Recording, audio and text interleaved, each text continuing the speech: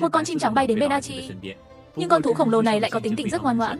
Archie nhẹ nhàng vuốt ve bộ lông của nó. Sam và Ursula, mặc dù họ có vẻ là cặp ổn định nhất, nhưng cả hai đều đầy bất an. Không có trí thông minh nào cao hơn trên hành tinh này. Cuộc sống không có cướp bóc và chiến tranh, với bản năng sinh tồn và sự hoang dã nguyên thủy nhất. Sau khi con vật nào chết đi, hoa mới lại nở. Bắt đầu một vòng đời khác. Mời các bạn đón xem số tiếp theo. Lượt like càng cao thì tốc độ cập nhật sẽ càng nhanh. Khoa học viễn tưởng tìm kiếm đất không bao giờ bị lạc. Hẹn gặp lại lần sau.